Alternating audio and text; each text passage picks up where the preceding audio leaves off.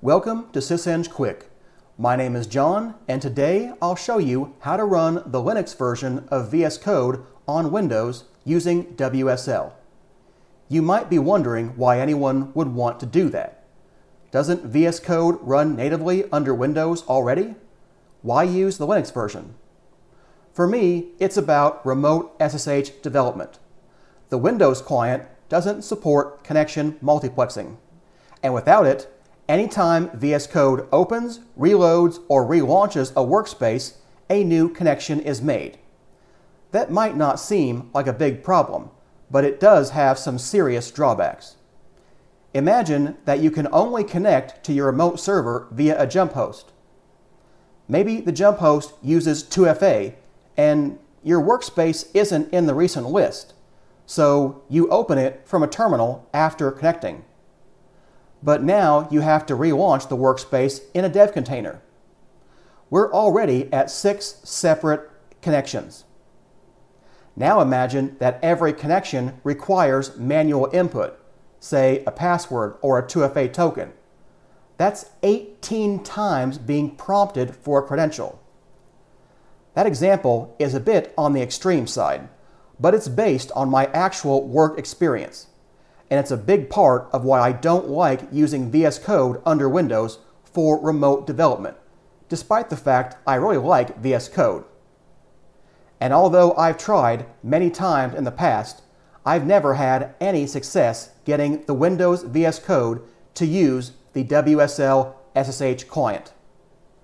Since I can't get Windows to talk to WSL, let's use WSL to bypass Windows entirely.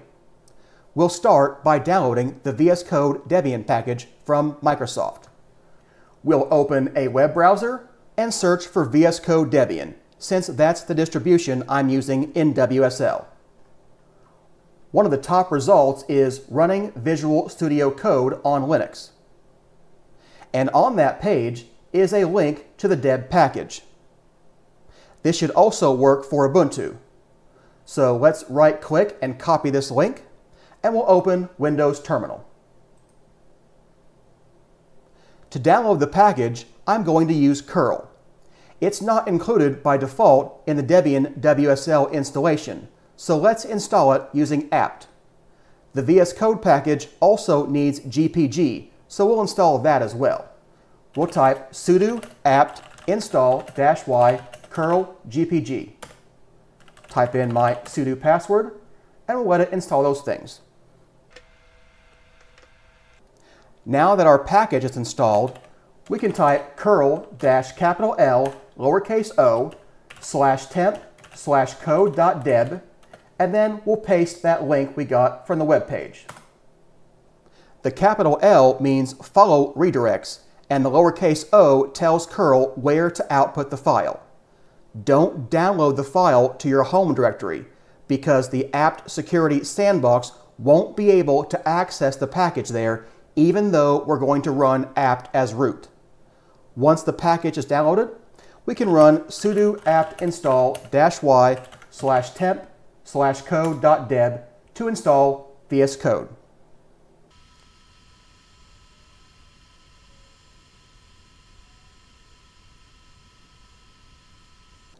Let's launch it by typing code. It tells us we should really just use the Windows version and makes us confirm that we're sure.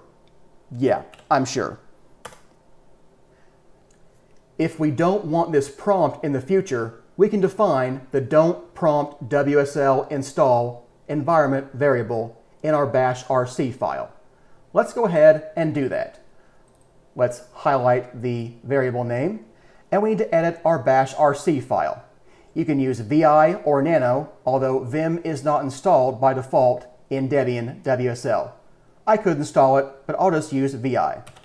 vi tilde forward slash dot bash rc.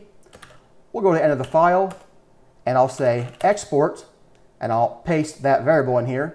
Doesn't matter what the value is, just so long as it's defined. So I'll go ahead and hit escape, and we'll save this file. And now I'll close VS Code, and I'll run code again.